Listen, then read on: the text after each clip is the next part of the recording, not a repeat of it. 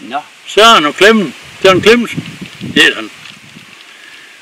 Og øh, de har jo forladt det nogle gange, du dengang, kan vi jo, så vidt vi kan finde ud af, men det er jo ret meget skrevet på dengang.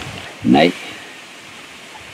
Og det var jo også noget med, at øh, jamen, de kom jo under, de kom jo under Vester Veste Kirkesovn, altså øh, Bjørn, altså de, øh, det, er- det, altså de alle børn derudfra, de gik i, i Vester Veste skole. For, for, for Tom, Thomas og Ja. hans brødre, de, de rendte jo ned af, af, af, af lang fem derude. Den, Ja. ja. ude. Og så, ja, og Tyge har gjort. Så, så var det hjem, hvem var det, der rendte hjem en gang, og så på Lingen Kanal, og, og kom op igen. For fanden. Nu, nu ser, Poul, nu ser du, så er du lang kvinde. Eller? Ja, ja det er en, en engfænd, Ja. ja. vi har ude her. Den, det, den er cirka næsten en kilometer lang.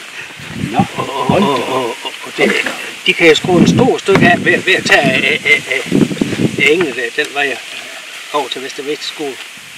Så det var flere, Så- så, flere dem- kilometer, de kunne spare den vej. Så dem, der har boet herude, det, det var Vester Vester skole. Yderbjerg, det var, det var Vester Vester Det var, det var Vester Vester Jeg kan så huske, at der er en anden tunge, den er yderbjergen ude. Men øh, det er selvfølgelig rigtigt. Lad mig du kan se, den kort her, der, ja. der, der, der, der, ja, der, der er den så der, øh, øh, den lille ejendom, der lå derude. Ja, ja.